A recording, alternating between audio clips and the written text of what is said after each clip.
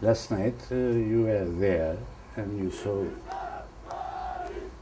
many Cypriots are asking for a agreement, a solution, peace.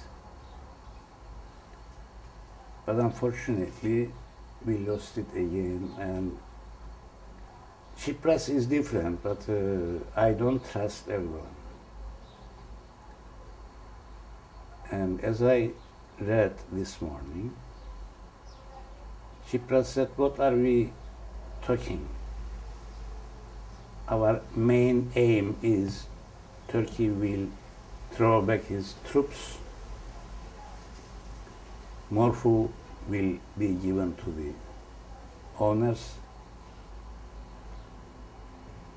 And we don't want guarantors He's right, in a way, he's right. Because after a solution, all Cyprus will be a full member of European Union. So an independent country like Cyprus, when I say independent, is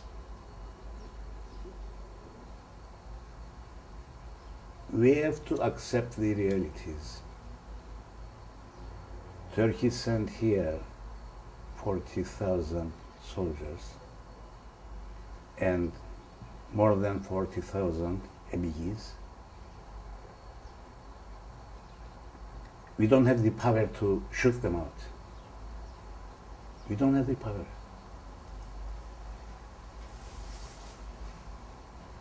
We'll wait, unfortunately, we'll wait the summit of Tayyip Erdogan and Cyprus.